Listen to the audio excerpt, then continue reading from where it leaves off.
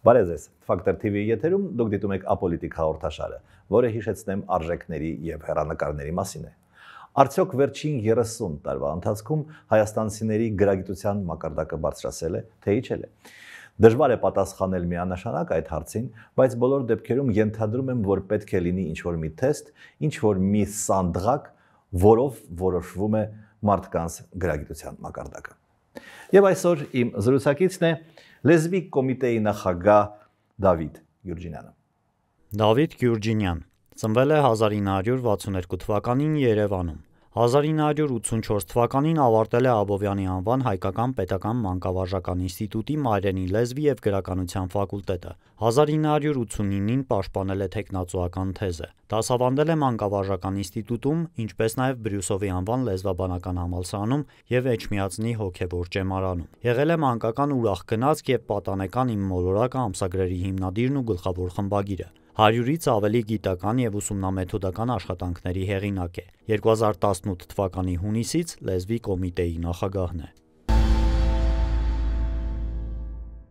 Շնորհակալություն պարոն Գյուզինյան։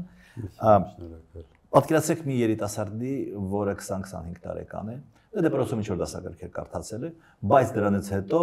բացի Facebook-յան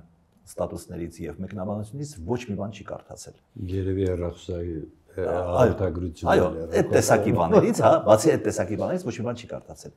Արդյոք նրան կարելի է անվանել գրագետ։ Դժվար հարց եք տալիս։ Եթե մարդը չի կարդում, շարունակաբար չի հարստացնում գիտելիքները, իբրև ընթերցող գոյություն չունի, բառապաշարը լեզուն, բնականաբար նա պիտի հետընթաց ունենա բառապաշարի, լեզվական կառույցների, նոր իրողությունների, լեզվում հայտնված նոր իրողությունների։ Եվ քանի գնում այդ մարդու երիտասարդի խոսքի որակը ընկնում է, գրավոր կամ բանավոր խոսքի։ Եվ դա մենք տեսնում ենք նույն այդ սոցցանցերում արված գրառումներից։ Զգում ես, որ մարդը աճ չի ապահովում, աճ չունի, որովհետև չի ընթերցում։ Մենք կարող ենք տարանջատել գրաճանաչությունը եւ գրագիտությունը, թե իրար շարունակող բաներ են։ Գիտեք, նույնիսկ գրագիտությունը կարող ենք մաս այո աստիճանների բաժանել կամ մասերի, որովհետև կան գրագետ մարդիկ, գրաճանաչ եւ գրագետ, բայց որոնք գործնական հարցերում դրսևորում են անգրագիտություն ասենք պայմանական նշաններ հասկանալու դա էլ է լեզվի մի դրսևորում օժանդակ բայց դրսևորում է հաղորդակցության միջոց այդ մարդը գործնականում անգրագետ է կամ կարդացած է թվում գրագետ է թվում բայց նա չի կարողանում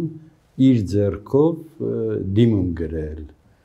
բացատրագիր գրել եւ այլ գործնական գրություններ կարող ենք ասել որ նա գրագետ է այդ դեպքում նրա գրագիտությունը պայմանական է նա այստեղ գրագետ է գիտի ինչ որ բաներ բայց գործնական հմտությունները որտեղ պիտի այս իմացությունը դրսևորվի չկա ու չկա Նաև ոլորտները, հա։ Այո։ Մենք ձեզ հետ միասին դժվար թե քվանտային ֆիզիկայում շատ գրագետ լինենք։ Մենք այնտեղ անգրագետ ենք, կարելի է այդպես ասել։ Այո, մենք շատ ու շատ ոլորտներում ուղակի անելիք չունենք, որովհետև անգամ եթե դպրոցում այդ գիտության հիմքերին ծանոթանում ենք, հետո մենք զգում ենք, որ չկանք այդտեղ, որովհետև աճ չենք ունեցել։ Այդ բաժինը մեզ համար փակ է։ Այո, դա էլ է սահմանափակ գրագիտություն։ Մենք երբեմն գրագիտություն ասելով ամենատարրական մակարդակն ենք ընկալում ուղագրություն եւ կետադրություն բայց դրանք այնքան ցածր աստիճանի վրա են որովհետեւ գրագետ մարդը պիտի կարողանա ազատորեն մտքեր շարադրել երբ խոսում եմ այդ շարադրելու մասին նկատի ունեմ թե գրավոր թե բանավոր դրսևորումը խոսքի լեզվի մենք սովորում ենք սովորեցնում ենք դպրոցում այդ շարադրելը գիտեք շատ ու շատ ուսուցիչներ դեռ չեն անցել դրան, որովհետև վարժ չեն, չգիտեն, որ դա կարևոր է լեզվի իմացությունը հենց դա է, որ մարդը կարողանա իր մտքերը շարադրել այս կամ այն հարցի շուրջ եւ ոչ թե անգիրանել։ Դուք տեսած կլինեք ձեր շրջապատում, թե ինչպես երեխաները դժգոհում են, որ իրենք անդադար էջերով բանաստեղծություններ են անգիրանում կամ ուսուցիչները պահանջում են կանոններ, սահմանումներ, ուղակի անգիր ասել բառ առ բառ կրկնելով դասագրքում գրածը բայց լեզվի ուսուցման նպատակը դա չէ այդ է պատճառը որ այդ անգիրի դպրոցը ճակերտավոր ավարտողները հետո անճարակ են դառնում տարբեր իրավիճակներում, երբ մարդը չի կարողանում իր մտքերը հասկանալի, པարզ, տրամաբանական, տեղ կա նաև պատկերավոր արտահայտիչ, դա արդեն բարձր մակարդակ է, խոսք ձևավորել, ասել անկախ մասնագիտությունից։ Անկախ մասնագիտությունից մենք մի սխալ մոտեցում էլ ունենք, մեզ թվում է թե լավ պիտի խոսեն, ճիշտ պիտի խոսեն, ու գեղեցիկ խոսեն պատկերավոր արտահայտիչ միայն բանասերները ոչ դա մեծագույն սխալ է որ մենք եւ ոչ նրանց լրագրողների շրջանում էլ կա այդ դժբախտությունը երբ զգում ես որ մարդը չի աճում կան լրագրողներ որոնք ասպարեզում են եւ խոսքը խորություն չունի որովհետեւ ընթերցող չէ նա եւ գրածն էլ կենցաղային է, մակերեսային է, ձևի թե բովանդակության բամբասանքի թեթևությամբ ու անպատասխանատվությամբ եւ ձևի եւ բովանդակության։ Եթե մարդը շատ կարդա, նա կտեսնի, որ այս նույն միտքը այս մեկը դրել է, այս ձևի մեջ կա անսովոր ու հետաքրքիր մի ձև, որի մեջ այդ բովանդակությունն է լծված։ Սա այդ աճ ապահովելը լրագրողի, նաև լրագրողի անելիքն է։ Քանի որ մենք խոսեցինք ուսուցիչների մասին,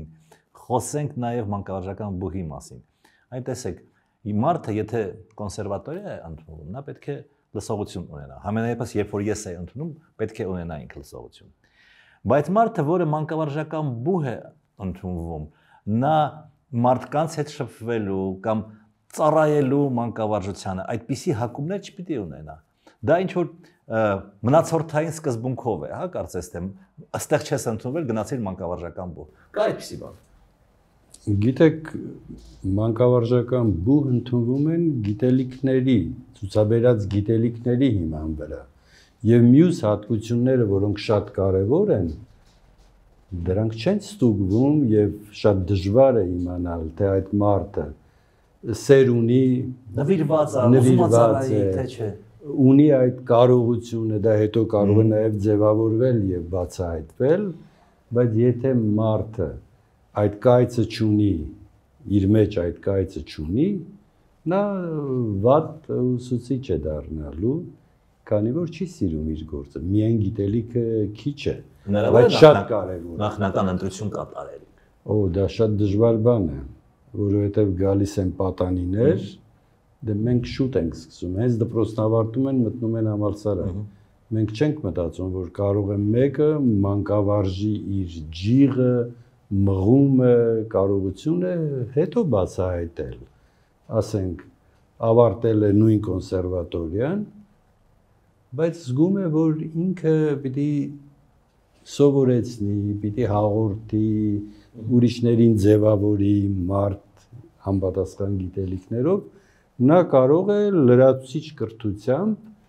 փոխել իր ասպարեզը, բայց մենք մտածում ենք այսպես 18 տարեկանում պարտադիր պիտի լինի որևէ համալսարանում, է բայց կարող է սխալ ընտրություն անի եւ միայն ոչ մանկավարժական։ Մարդը 18 տարեկանում սխալ որոշում է կայացրել եւ հայտնվել է միտեղ, որ չի սիրում, չի կարողանում, իր ապագան այդտեղ չի տեսնում եւ այլն եւ այլն։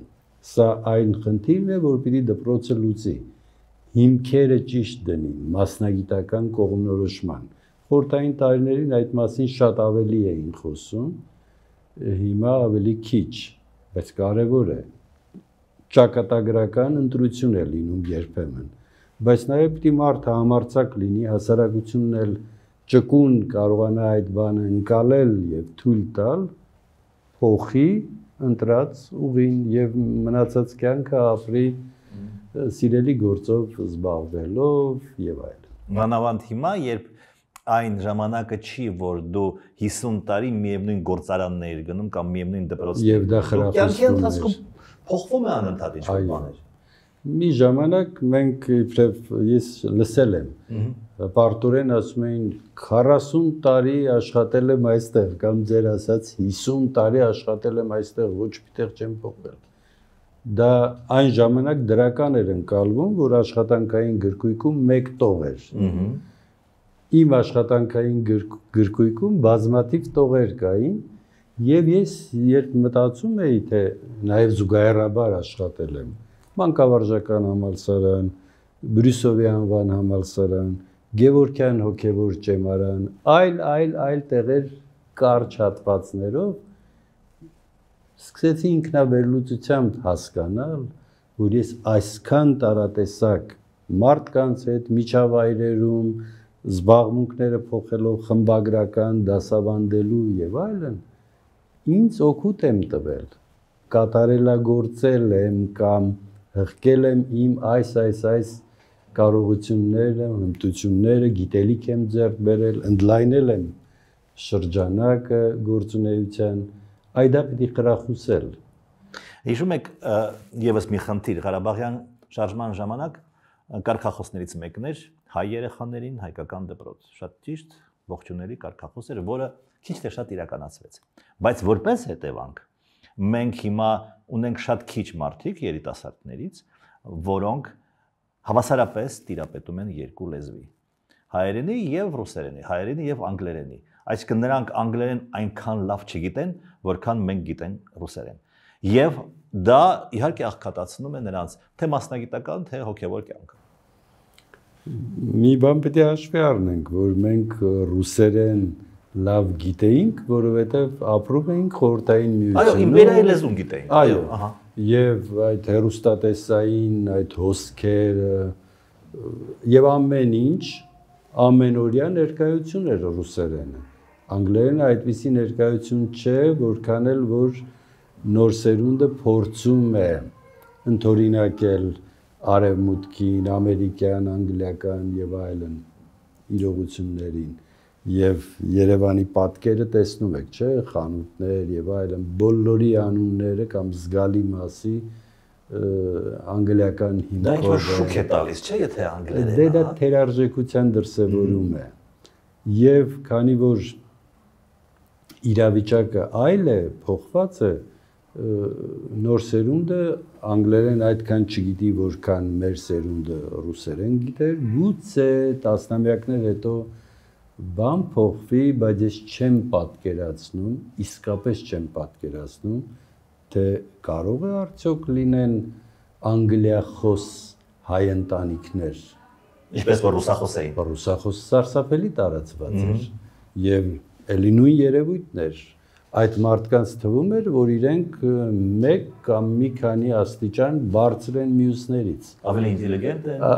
թվում էր դա կեղծ է։ Դա կեղծ է, որովհետև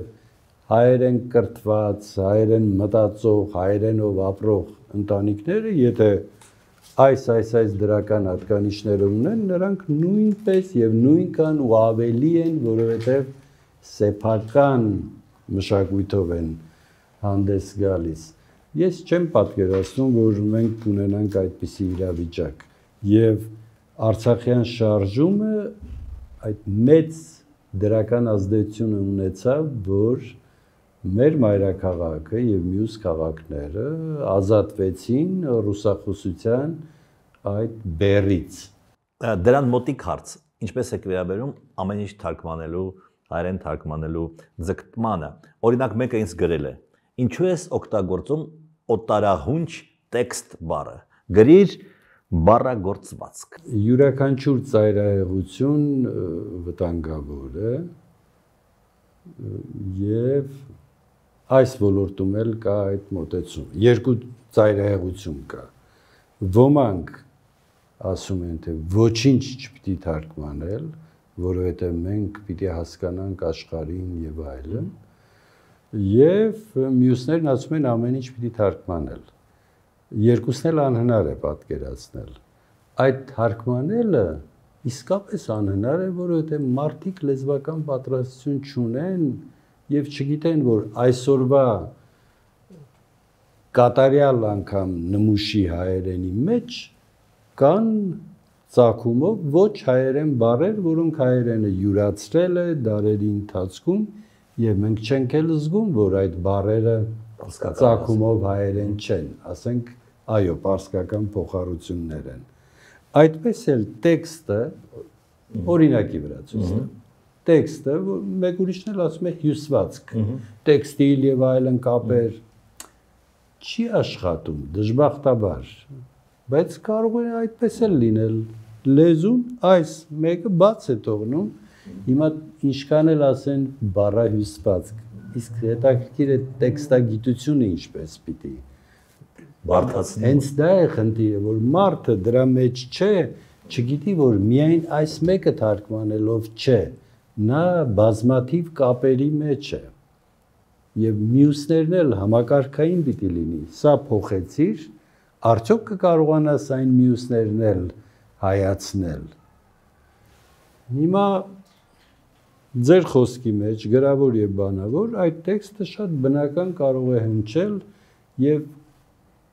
ես խնդիր չեմ տեսնում բայց ինձ էլ են գիտեք մեղադրում երկու կողմերն էլ երկու ծայրահեղություններ երկու ծայրահեղությունները ասենք գրառում եմ գրում մեկ էլ փոստատուն եմ գրում մի մարդ գրում է ինչու եք ասում փոստատուն պիտի ասեք նամակատուն դե արեմտայերեն այդպեսի բառ կա հարց եմ տալի պիտի արմատախիլ անել օտար արմատները եւ այլն այդպես մեղադրում են հարց եմ տալիս իսկ նամակը նամակը ցակումով բնիկ հայկական է կամ իմ խոսքից փոկել են բանկային գործի բանկայինը, ասում են, ինչու բանկը չենք ասում դրամատուն։ Հարց եմ տալիս, դրամը ցակումով հայկական է եւ պատասխան չկա, որովհետեւ կապերի մեջ պիտի տեսնել եւ պիտի եթե որևէ տեղ հատկապես քննադատում ես, պիտի վստահ լինես, արդյոք ճշմարիտ է եւ ճշմարտացի այդ դիտողությունն ու քննադատությունը հանգիստ շարունակեք ասել տեքստ։ Ընդհանրապես ծայրահեղություններից խուսափելու եւ միջինը ոսկե միջինը գտնելու խնդիր կա։ Օրինակ այս հարցազրույցների ելույթների ժամանակ կամ դպրոցում կամ բուհում ես չեմ կարող երեխաների կամ իմ զրուցակիցների հետ խոսել շատ չոր զտված գրական լեզվով։ Մյուս կողմից չեմ կարող խոսել ինչ որ կիսագողական լեզվով։ Օրինակ, ես պետք է ասեմ «է» թե «ա» բանավոր խոսքում Եվ այդպիսի բաներ, այսինքն այն ինչ որ բնական է, նորմալ է ընկալվում եւ զրուցակիցների եւ երեխաների եւ ուսանողների կողմից։ Այդ A-ի եւ I-ի խնդիրը հիմա իսկապես օրակարգային է, բայց շատ པարզ լուծում ունի։ Բոլորս գրեթե Հայաստանում մեր առօրյա խոսքում այդ անգործածում ենք բարբարային ինչ-ինչ տարածներ եթե հանենք Երևանը վերցնենք բոլորը գործածում են բայց երբ խոսքը դառնում է պաշտոնական գրական այդ այն այդտեղ անելիք չունի հիմա այստեղ անհանդուրժելի է եթերում օրինակ ես եթերում չէի ասի այո որովհետև եթերը ուղղված է ամբողջ հասարակությանը իսկ հասարակությունը գիտի, որ MSA է։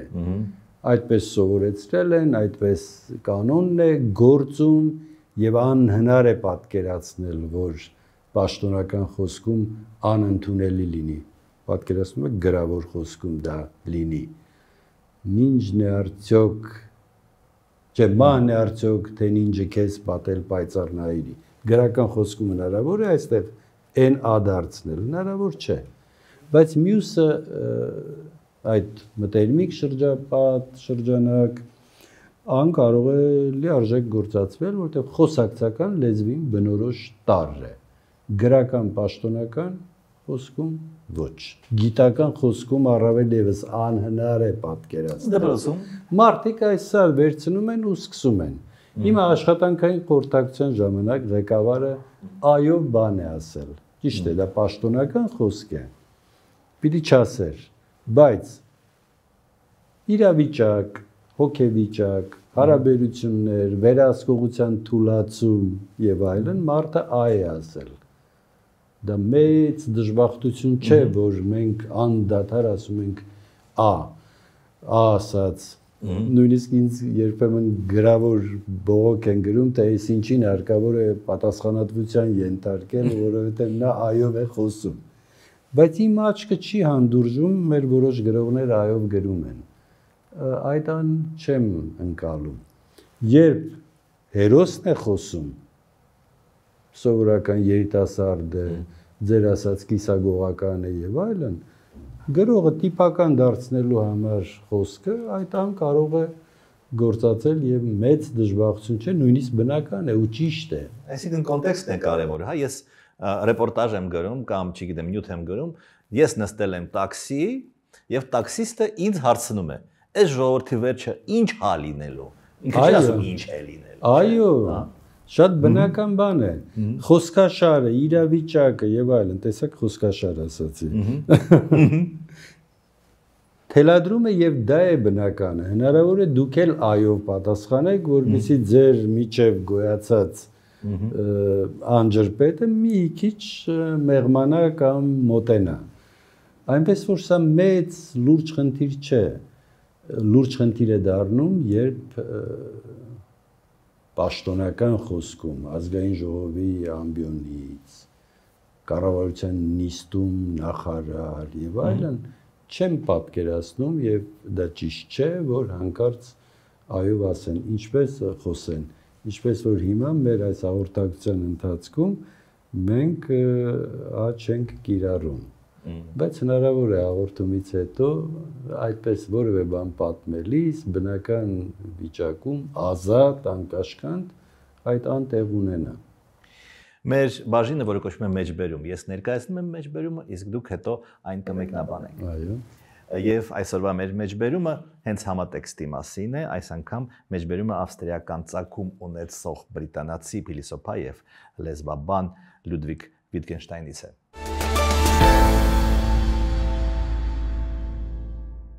Լեզուն համատեքստերի լեզվական խաղերի շարժուն համակարգ է։ Նշանակությունը ստատիկ չէ եւ նշանին իմաստ է տալիս լեզվական խաղը, գործնական իրավիճակը, որում այդ նշանն օգտագործվում է։ Օրինակ մարդը, ասենք, սարսափելի ցավ է զգում եւ երբ հերթական անգամ ինչ-որ բան է կատարվում իր օրգանիզմում, նա գոռում է. «Հեռացիր, հեռացիր»։ Չնայած չկա որևէ բան, որը նա կցանկանար իրենից հեռացնել։ Արդյոք կարելի է այդ դեպքում ասել նա այդ բառերը սխալ է օգտագործում։ Ոչ ոք չէր կարողանա նման բան պնդել։ Նա պարզապես գործում է այդ իրավիճակում։ Այստեղ ինչ որ բան ճիշտ կամ սխալ չի կարող լինել։ Եվ այսպես մոտավորապես ասում է ճիշտ ու սխալը չկա, կարևորը կոնտեքստը, այսինքն նույն նշանը կարող է տարբեր ձևով անցալվել եւ տարբեր ձևով նայած թե երբ եւ ինչպես է այդ նշանը կիրառում։ Դա է հասկանում փիլիսոփայի ասացից ճիշտ ու սխալը հարաբերական է։ Քիչ առաջ մենք այդ մասին խոսեցինք։ Այստեղ լեզվական այս դրսևորման մեջ նա կարող է ճիշտ ընկալվել, մյուս տեղում ոչ։ Նայած լեզվի որ դրսևորումն ենք վերցնում։ Սա շատ հստակ է։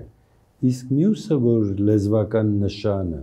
որ ձև եւ բովանդակություն է ու նա անսպասելի լուծումներ կարող է ունենալ խիստ հետաքրքրական է եւ զբաղեցնում է լեզվի փիլիսոփաներին օրինակ նիրհել բառը նիրհելը մենք հասկանում ենք թեթև քնել ննջել այն որ ժողովուրդը ասում է դանթել գլուխը հակում է ներքև հետո վեր է բարձրացնում եւ այլն մարդիկ են նիրհում լեզուն այդ հնարավորությունը ազատությունը տվել է ձևավորվել է մեկ այլ իմաստ նմանեցման հիման վրա. Բնության երևույթները կարող են ժողովուրդերի քան իր հետ դուրս արին իր հից այո դե մարդկանց հավաքականությունն է հիմա ծովը կարող է նիրհել հետո նորից մոլեգնել կատաղել եւ այլն հարց. Հիմա լեզվական խաղին են գալիս բարերը նիրհում են բարերը կարող են նիրհել նույնիսկ խորքնի մեջ լինել։ Օրինակ։ Մենք հիմա խաղում ենք։ Այստեղ ես բերել եմ ու ձեզ պիտի նվիրեմ զարմանալի հայերեն գիրքս վերջիններից մեկը։ Այստեղ հայերեն բառեր են, որոնք գրափարում եղել են, գործածվել եւ հիմա բոլորովին նոր իմաստներով սկսել են արդի հայերենում գործածվել դրանցից մեկը մեկի մասին ուզում եմ խոսել. Դիեզերագնաց 5-րդ դարի բառը լավն է չէ Մոսես Խորենացին գործածել է Վարդավարին նվիրված իր հայտնի ճառում եւ ասում է դիեզերագնաց գետերը հոսում են եւ այլ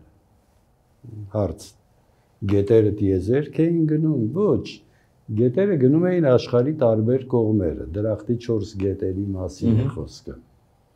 այս բառը խորենացուց հետո չի գործածվել մինչև մինչև դիեզերագնացության դարաշրջանը նա նույնիսկ չէր նիրհել նա խոր քնի մեջ էր հայկազյան նշանավոր բառարանում երկաթոր բառը նույնիսկ չի գրանցվել հետո արձերնում հայտնվել է եւ 1961-ին, երբ մարդը թռավ դիեզերք, մեր մամուլը պիտի արձագանքեր, ով էր այդ մարդը։ Եվ գտան, գուցե նոր կազմեցին դիեզերագնաց բառը։ Խոր քնից արտնացավ, այնպես որ բառերն էլ կարող են նիրհել, դրա համար մարդիկ դի շատ կարդան, որ այս բառերը նոր կյանք ունենան, նոր իմաստով հանդես գան։ Եվ հիմա նա դիեզեր գնացողն է եւ ոչ թե աշխարհի տարբեր կողմերը։ Այս մասին է խոսքը, որ լեզվական բազմազանությունը ու իրական կյանքը, այդ գործածությունները անդադար վերում են նոր իմաստներ, նոր կիրառություններ եւ ամեն մեկը յուրովի իր տեղում աշխատում է։ Կարող է երկար աշխատել, կարող է հետ քաշվել, հանգստանալ, հետո նորից խաղի մեջ մտնել։ Մեր վերջին բաժինը, որը կոչվում է հայացք ապագային։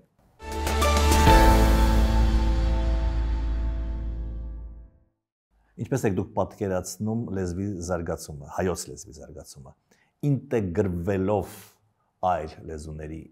մեջ, ինչպես որ մեր մեծերն էին անում չգիտեմ 5-րդ դարից սկսած, հա 5-7-րդ դարում թարգմանում էին, ինտեգրում էին եւ այլն։ Թե մեկուսանալով, բյուրեղանալով, այսպես պուրիստական մոտեցումներով։ Եթե մեկուսանա եւ մենք մեկուսացնենք, մենք կդատապարտենք հայոց լեզուն։ Հայոց լեզուն պիտի ժամանակին համընթաց քայլի։ Հայերենով պիտի կարողանանք աշխարհի արդիական հասկացությունները արտահայտել դուք լավ օրինակ եք բերում 5-րդ դարում մեր իմաստուն նախահայրերը, նախնիները այդ գործը արել են, վարպետորեն արել են։ Այնինչ հնարավոր էր թարգմանել, հատկապես գիտական տերմինաբանություն կամ եզրաբանություն, ոմանց համար եմ ասում եզրաբանություն, փիլիսոփայական, աստվածաբանական, քերականական հրաշքներ, հրաշք կազմություններ են ստեղծել որտեղ կարողացել են, որտեղ հնարավոր է եղել, իսկ հայերենը այդ հնարավորությունը տալիս է։ Հիմա էլ չպիտի դադարեցնենք այդ գործընթացը։ Պիտի բացվել աշխարհին, բայց դա պիտի անենք հայերենով։ Նախ հետո հետո կտեսնենք կարողացանք կանենք, չենք կարողացան կարողանա կգա մի պահ, երբ կկարողանանք այս կամ այն բարդ հասկացությունը հայերեն արտահայտել։ Տեզերագնացը ձեզ օրինակ, մեկն էլ օրինակ կայքը։ ձեր կայքը օրինակ մեր հիմնարկի կայքը այս կայք բառը 5-րդ դարի բառ է ինչեւ հիմա ունեցվածք իմաստով էլ է չէ գործած Այո։ բայց լրիվ արդիական հասկացություն ու կարճ տեսեք ինչ սիրուն է կարճ այս դերը կատարում է այդ բառը այնպես որ ոչ պիտի դատապարտել ոչ պիտի դատապարտել ամեն ինչ դարձնա ոչ պիտի մեկուսանալ այլ բնական զարգացումը ապահովել լեզվի Շնորհակալություն հետաքրիր զրույցի համար։ շնորհակալ եմ Սիրելի բարեկամներ, ես հիշեցնեմ, որ իմ զրուցակիցն էր լեզվի կոմիտեի նախագահ Դավիթ Գյուրջինյանը։